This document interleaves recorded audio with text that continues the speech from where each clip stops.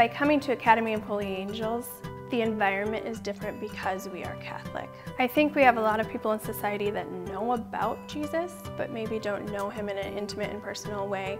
And I think having theology and a Catholic school enables us to really um, speak to those relationships and to give the, the students the space and the opportunity to encounter Christ every day and to incorporate that into their lives, whether it be through prayer or learning the academics about the faith.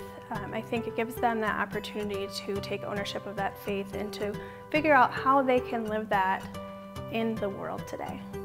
I guess my philosophy is that I want my students to know that I know them and that I care about them and when they walk into my classroom that they're loved. And I think that's the foundation for all of theology.